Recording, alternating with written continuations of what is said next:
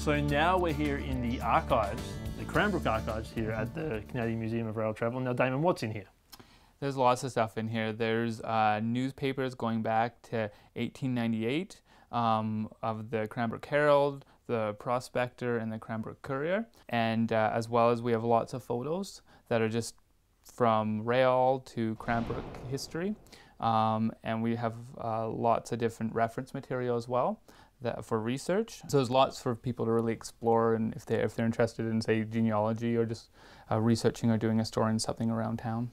And I have to mention the white gloves. I kind of feel like Michael Jackson right now. But what's the what what's the reason behind these gloves? Um, so uh, the gloves are used to when you're handling artifacts or um, archival material because no matter how much you wash your hands, there's usually oils left on. And the other thing people don't th think of, and so these oils can transfer to our um, uh, material, and particularly if you think about metal. There's salt in our in um, the oils in our hand. Super important to wear the gloves yeah. if you've been here. And on that note, the public do they have access to, to the archives? Uh, yeah, I mean there there are some challenges there, but for the most part, um, uh, we do a lot of research. This summer, I was actually surprised at how many people were coming to the archives or um, emailing us and, and, on requests of research stuff they were looking at. I'm not going to find any history of my family here, that's for sure. But yeah. it's it's neat even to just look through some of the newspapers. I mean, we yeah. were just looking through a newspaper and we saw the article on on the Titanic when yeah. the Titanic sunk. So you know, seeing that kind of stuff's pretty neat. And yeah. is that something the the museum wants to kind of promote to the public? Yeah, I think. I mean, I think uh, any archives. I mean, it's here for the public. You know.